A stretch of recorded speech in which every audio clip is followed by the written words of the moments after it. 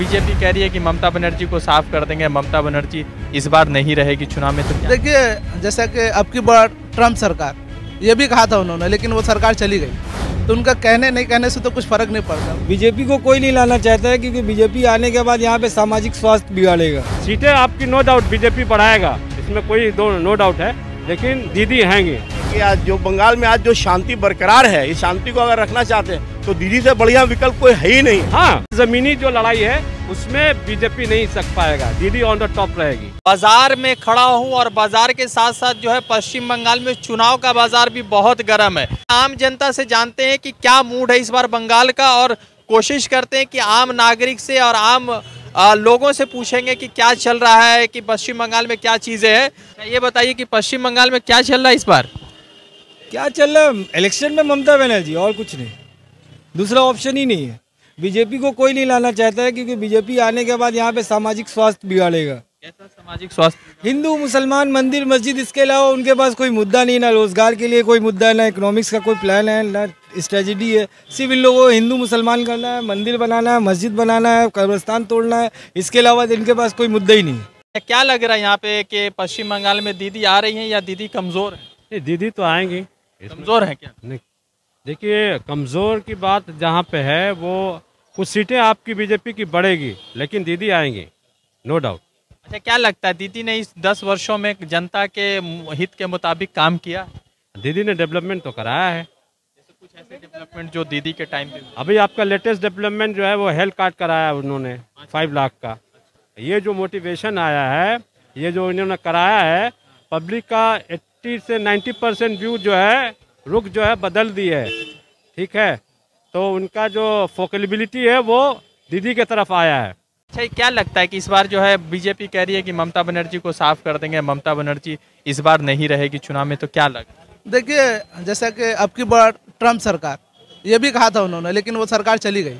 तो उनका कहने नहीं कहने से तो कुछ फ़र्क नहीं पड़ता। वो बहुत कुछ बोल रहे हैं लेकिन ऐसा कुछ होता नहीं है। आप पिछला इलेक्शन देख सकते हो जैसे दिल्ली में उन्होंने जिस तरह के उन्होंने वहाँ पे इलेक्शन लड़े हैं जिस तरह के वहाँ पे जो कैंपेजन हुआ है मतलब बिल्कुल वाहियात गंदा तरीका से उन्होंने इलेक्शन का वो माहौल बनाया था लेकिन जो वहाँ पे रिज़ल्ट आया वो वाकई में काबिल तारीफ़ थी और वही चीज़ यहाँ पे भी होने वाला है। अच्छा क्या लगता है कि बीजेपी यहाँ चुनाव में कैसा परफॉर्मेंस कर पाएगी बहुत देखिए जितना बीजेपी अपना ढोल पीट रहा है उतना तो नहीं कर पाएगा। हाँ थोड़ा इम्प्रूवमेंट पिछले बार से इस बार थोड़ा इम्प्रूवमेंट होगा। क्योंकि बहुत सारे गद्दार, चोर जितने थे, सब बीजेपी ज्वाइन कर लिए, जैसे कि शिवबिंदु अधिकारी। तो इन लोगों के जाने की वजह से हो सकता है बीजेपी को थोड़ा सरप्लस मिले, लेकिन सरकार ममता बनर्जी का ही बनेगा। ऐसा ये लोग बीजेपी वाले जो हंगामा करते हैं कि यहाँ पे बहुत रक्त चरित्र है, हर जगह यहाँ पे खून की नदियाँ बह रही हैं, ऐसा तो कुछ दिखाई नहीं देता है। यहाँ सबसे ज़्यादा सुरक्षित और सबसे ज़्यादा शांति है, पूरे हिंदुस्तान में अगर देखा जाए, और इनके जहाँ जहाँ राज्य में जो सरकारें हैं, जैसे कि आप अभी देख लीजिए, यूपी में, अभी बिहार में है आए दिन वहाँ गुंडा राज है।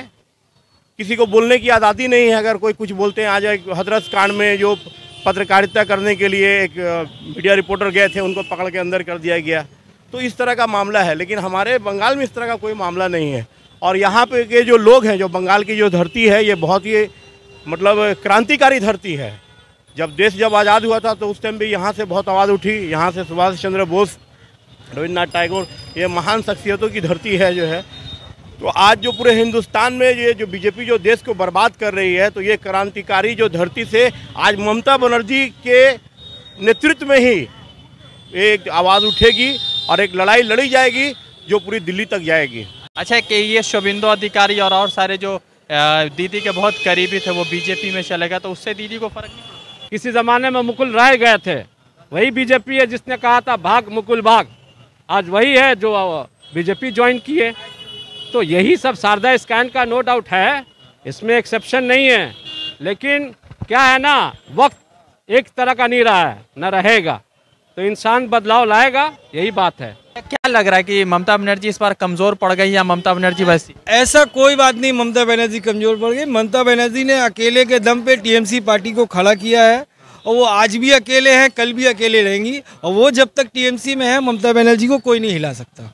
ममता पब्लिक पब्लिक ममता बनर्जी को जानता है कोई शिविंदो अधिकारी या मुकुल रॉय को नहीं जानता है। उनके आने के बाद बंगाल में कितना बदलाव आया है कितना काम हुआ है सारा पब्लिक अपने आँख से काम हुआ कुछ काम पहले जैसे कि आप ये रास्ता ही देख रहे हैं आज से पंद्रह से बीस साल पहले की बात बता देते हैं वार्म फ्रंट के टाइम पे इस रास्ते से लोग अंधेरे होने के बाद गुजरते नहीं थे।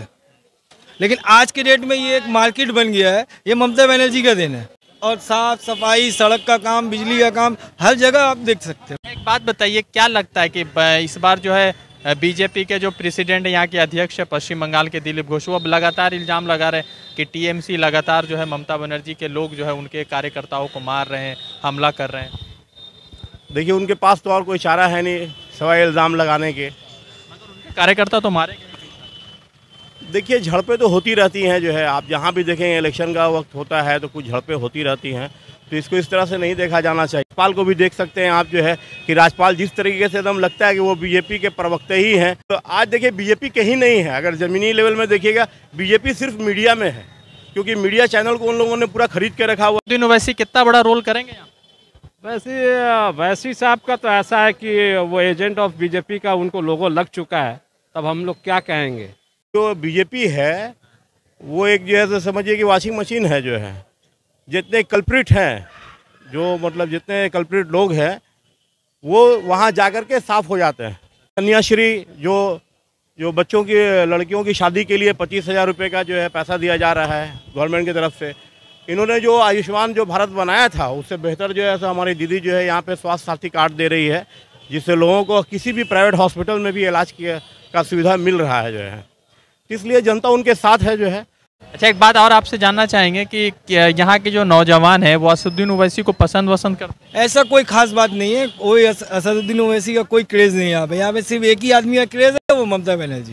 बीजेपी कह रही है कि इस बार तो ममता को साफ़ कर दें उनके कहने से क्या होता है? वो तो कहते बहुत कुछ है। बोले तो पंद्रह लाख देंगे दे दिए। दो करोड़ नौकरी देंगे साल में दे दिए। बोले तो महँगाई घटा देंगे। तीन सौ का सिलेंडर आठ सौ हो गया। सत्तर रुपये का पेट्रोल पचासी रुपया हो गया। वो तो सिर्फ़ कहते हैं करते नहीं। जो नोटबंदी जो की नोटबंदी की नोटबंदी के बहाने उन्होंने पूरा पैसा अर्जित किया जो है और उस पैसे को ये लगा करके हर के एमपी और एमएलए को खरीदने का काम करते हैं जो। और ममता बनर्जी ने जिस तरह से यहाँ पे अमन व शांति का पैगाम दिया है या जिस तरह का यहाँ का माहौल है या जिस तरह उन्होंने काम किया है तो उनका रहना और न- रहना नहीं रहना या आना उनका नहीं आना ऐसा कुछ उनको फ़र्क नहीं पड़ता है। क्योंकि मुस्लिम एरिया से ममता बनर्जी एक तरफा जीतेंगी। अब मुस्लिम एरिया को कमज़ोर करने के लिए बीजेपी उतारेगा असदुद्दीन ओवैसी को अच्छा एक बात और आपसे जानना चाहेंगे कि क्या लगता है कि इस बार पश्चिम बंगाल के चुनाव में आ, मतलब हिंदू मुसलमान का फैक्टर कितना बड़ा मतलब के इशू बनने वाला? ये देखिए, ये जहाँ भी जाते हैं, हिंदू मुसलमान के दम पे ही जाते हैं। ये लोग इशू ढूंढ रहे हैं इशू मिल नहीं रहा है। क्योंकि बंगाल का पब्लिक बहुत समझदार है, ये लड़ना नहीं चाहता है। जैसे कि और बाकी प्रदेश में हुआ, आसाम में हुआ, उत्तर प्रदेश में हुआ। अब आसाम देख लिए आसाम में भी लाइट के बाद बीजेपी का सरकार आया उत्तर प्रदेश में भी मुजफ्फरनगर लाइट के बाद ही बीजेपी का सरकार आया बिहार में भी वही हालत है। हर जगह ये लोग हिंदू, मुसलमान राइट और चोरी चमारी करके ही सरकार बना रहे हैं। क्या लगता है यहाँ पे पश्चिम बंगाल में दीदी पूरे ताकत के साथ आएँगी या कमज़ोर पड़ जाएँगी? नहीं नहीं, पूरे ताकत के साथ आएँगी। पूरे ताकत के साथ आएँगी। और मैं ये जनता को कहना चाहता हूँ कि अगर आप ये चाहते हैं कि आज जो बंगाल में आज जो शांति बरकरार है, इस शांति को अगर रखना चाहते हैं तो दीदी से बढ़िया विकल्प कोई है ही नहीं है।